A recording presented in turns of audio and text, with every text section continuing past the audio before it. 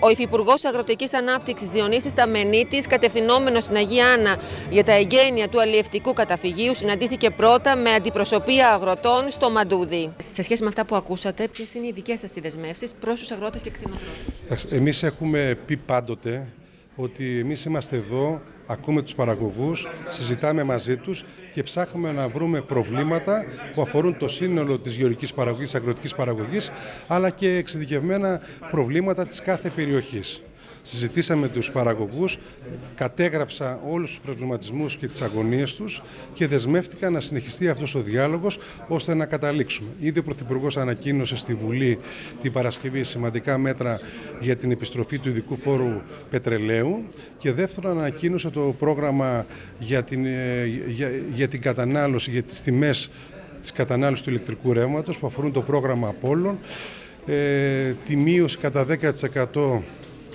που κάνει η ΔΕΗ και ταυτόχρονα την ε, αύξηση από 10 κιλοβάτς στα 50 κιλοβάτς στις γεωργικές εκμεταλλεύσεις ε, ώστε να μπορούμε να, να εγκαταστήσουμε εύκολα και γρήγορα ΑΠΕ οι οποίες είναι και μοναδική λύση ώστε να έχουμε φτηνή ενέργεια στην παραγωγή. Είμαστε εδώ, συζητάμε και νομίζω θα βρούμε ένα κοινό τόπο και με τους συναδέλφους τους βουλευτές αλλά και με τον Περιφερειάρχη. Ζητήσαμε δεσμεύσεις πάνω στα τα ζητήματα που καίνε εδώ την περιοχή, αντιπλημμυρικά έργα, τα ποτάμια, ε, τις αποζημιώσεις από τις πυρκαγιές, τα αγριογούρουνα και μια άλλη σειρά ζητημάτων όπως είναι ζωοτροφές, μελισσοτροφές, ενισχύσεις για τους μελισσοκόμους, για τους κτηνοτρόφους, κτηνίατρους και μια σειρά πολλών ζητημάτων εκτός από το πλαίσιο το πανελλαδικό που είναι το κόστος παραγωγής κτλ. η αλήθεια είναι ότι δεν πήραμε κάποια δέσμευση συγκεκριμένη για τα ζητήματα που θέσαμε, ούτε χρονοδιαγράμματα που ζητήσαμε για τις αποζημιώσεις κτλ. Ε, δεν μπορώ να πω ότι. Είδατε έναν διάλογο τουλάχιστον. Έγινε ότι... διάλογος, δεν μπορώ να πω, ήταν καλός ο διάλογος. Θέσαμε όλα τα ζητήματα, ήταν όλοι οι αρμόδιοι παρόν αυτή τη φορά και το Υπουργείο και η Περιφέρεια και ο Δήμος. Οπότε σε συνεργασία όλοι μαζί θα μπορούσαν να λύσουν τα ζητήματα αυτά που βάζουμε. Το κακό είναι ότι δεν πήραμε χρονοδιάγραμμα πάλι. Έχουν περάσει ήδη αρκετά χρόνια από την πυρκαγιά. Ο κόσμος πρέπει να ανακουφιστεί ή ακόμα εκκρεμούν οι αποζημιώσεις. Οι τι σας είπε; Ε, Μας είπε ότι θα δοθούν, αλλά υπάρχουν κάποια κολλήματα και θα προχωρήσουν το επόμενο διάστημα.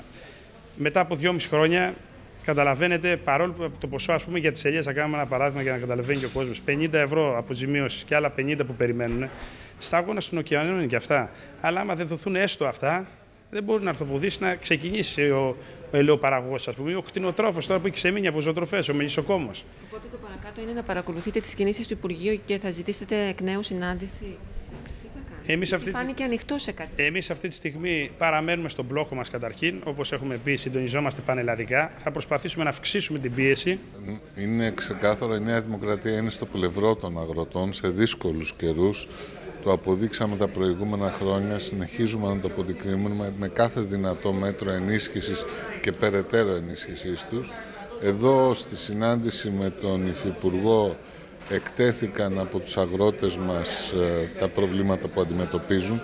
Τα κυριότερα αφορούν δυσλειτουργίες της ε, κρατικής μηχανής σε ό,τι αφορά την καταβολή των αποζημιώσεων. Θα αποφασίσουμε τώρα για τη συνέχιση μας.